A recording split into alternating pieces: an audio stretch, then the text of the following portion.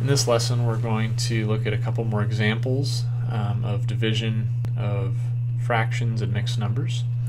Um, in the last video we learned the general rule for this and so we'll just put it into practice a couple of times here. So we have uh, 4 fifths divided by 8 fifteenths. Now remember the rule is we're going to leave that first fraction alone and understand that dividing by a fraction is the same as multiplying by its reciprocal or flip.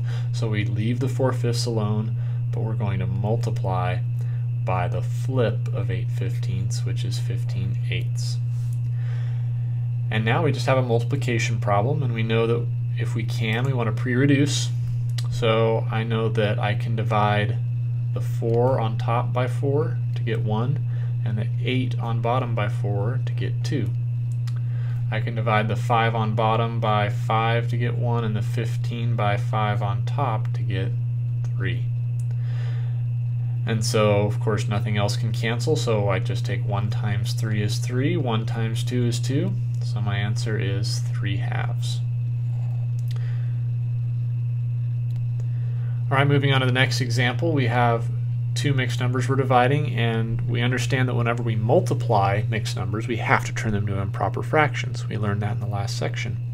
Um, and so since ultimately every division problem with fractions turns into a multiplication problem, we have to do the same thing.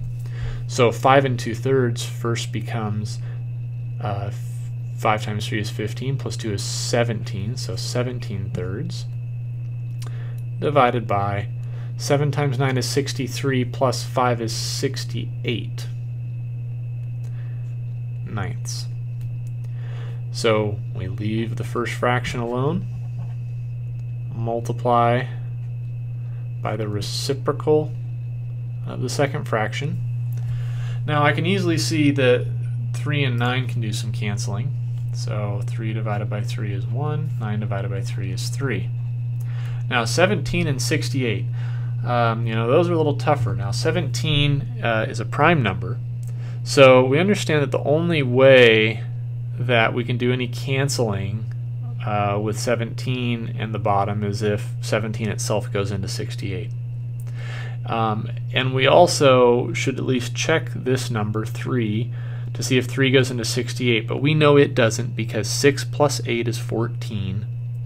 And 14 is not divisible by 3, so we know 68 isn't either. And so, um, so even if you are skeptical of whether 17 goes into 68, since it's the only possibility, you need to at least check. So um, you try, go ahead and try 68,